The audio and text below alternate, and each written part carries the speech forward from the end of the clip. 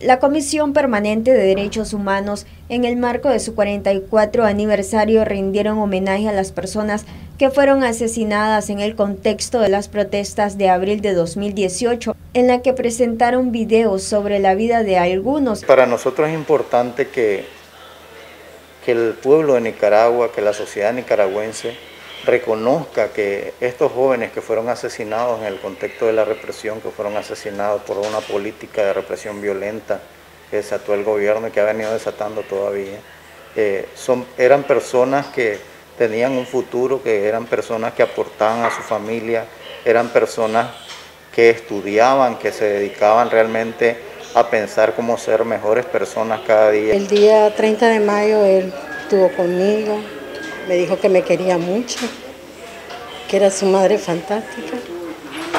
Y el 2 de junio a él me lo ejecutaron porque no fue un asesinato, fue una ejecución. El hombre que me lo agarró tuvo chance de dejármelo vivo, pero no me lo dejó vivo, me lo ejecutó. Él me lo mató en el mercado viejo de Sanar. Me lo llevaron a la, a la iglesia San Miguel. Ahí me lo llevaron a él, yo lo fui a retirar ahí en la iglesia San Miguel Alcántara. Él tenía 15 años, se llama Junior Gaitán. Se puso la denuncia en Matagalpa, ya se, se llevó la apelación y no nos contestan. En Sébaco no nos recibieron la denuncia porque dijeron que iban a esperar el epidixis del médico forense. Y el médico forense mintió porque dio un, un resultado que era un accidente y la ciudad de Sebaco entera, que estuvo presente a ver a mi hijo, miraron de que era asesinado.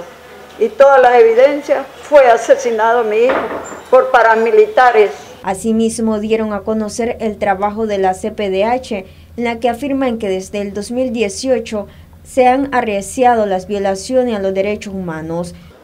Vamos a seguir defendiendo los derechos humanos, vamos a seguir promoviendo leyes en beneficio de los nicaragüenses, al menos iniciativa, como presentamos en su momento una iniciativa de los indultos, que no sacaran a cualquier delincuente como hoy en día salen cantidad al por mayor y no, y no ven los antecedentes de, de estas personas que ponen en riesgo,